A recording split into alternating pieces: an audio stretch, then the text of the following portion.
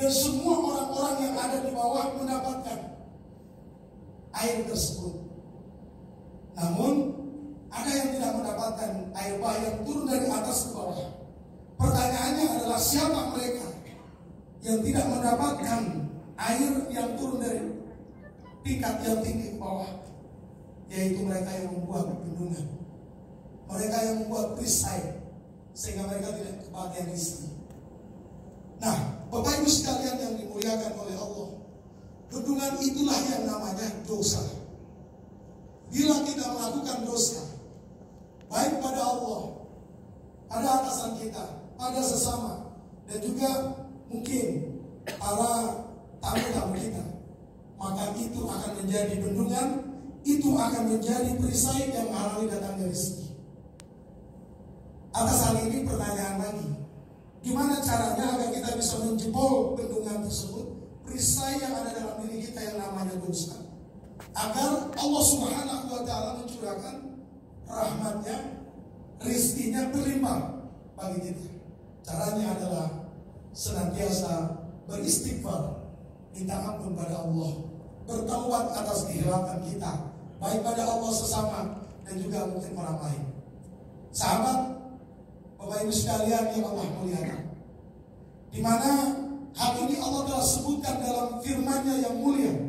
Surat Nuh ayat 10 dan 11. Saat ketika Nabi Nuh alaihissalam datang pada umatnya.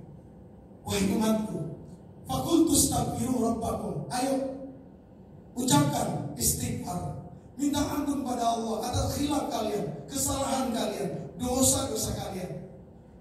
Biasa umat yang agak kurang soleh, kurang baik, agak bandel, selalu bertanya, wahai Nuh, kalau kami sudah beristighfar, kira-kira apa yang akan Allah berikan pada kami?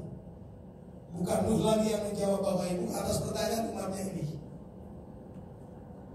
Allah jawab dalam surat Nuh ayat yang ke-11. Di mana Allah Subhanahu wa taala pencipta alam semesta berfirman bahwa ketika kamu minta ampun pada Tuhanmu, bertaubat atas kehilangan kalian pada Tuhanmu, maka yursilis sama'a alaikum midrara. Allah akan mencurahkan rizki dari langit seperti hujan yang lebat. Bapak Ibu sekalian, dapat kita menghitung biji-biji hujan yang jatuh dari langit ke bumi? Tentu tak ada yang bisa menghitungnya. Itulah karunia, itulah rahmat kasih sayang rizki yang akan dicurahkan pada hamba-hambanya yang telah bersih hatinya. Dan penyakit hati iri, dengki, hasad, riak, ujub, takabur dan penyakit hati lainnya. Dan yang terbesar adalah ego. Bapak Ibu sekalian yang dimuliakan oleh Allah Subhanahu wa taala. Jika kita sudah beristighfar minta kepada Allah, maka keajaiban yang pertama, Allah beri kita bukan sedikit, tetapi yursilis sama'a alaikum midrar. Yaitu curahan rezeki yang sangat berlimpah. Kalau tadi masih ada bendungan, maka yang kena percikan-percikannya saja yang kita dapat. Dia hanya lewat samping kanan, samping kiri kita atau dari atas.